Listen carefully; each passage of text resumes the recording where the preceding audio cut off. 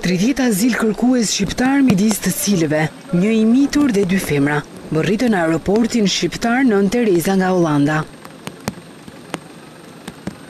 Sipas njoftimit zyrtar të Ambasadës së Vendeve të Ulëta, tridhjetë persona të cilët nuk pranuan kthimin vullnetar nga Holanda, u kthyen forcërisht me një fluturim të posaçëm qeveritar në vendin e tyre të origjinës.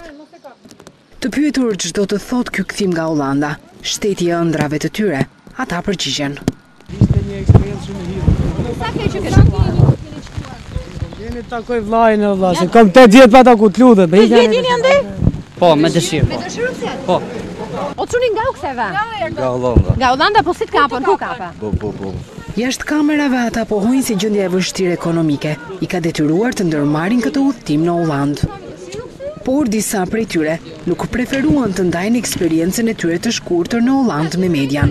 Si kaluat, sa kishit që ishit atje? Sa qëndruat?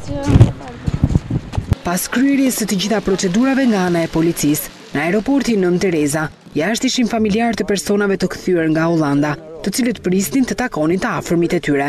Jashtë kamerave rrëfejnë eksperiencën e kaluar nga familjarët e tyre. Sa u bën dy javë, ha? Dy javë sa. Ka ndejt te kampi? Në kamp ka shkuar? Në kamp ti. Po. Nga kampi e kanë kap nëpër trakete, nëpër kështu. Po.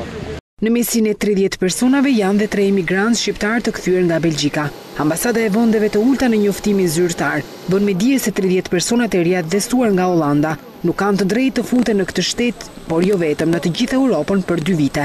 Me këtë fluturim qeveritar, numri total i nënshtetasve shqiptarë të kthyer nga Hollanda për vitin dy mijë e gjashtëmbëdhjetë arrin në pesëqind persona, përfshirë këtu si ata të kthyer vullnetarisht, ashtu edhe ata të kthyer forcërisht.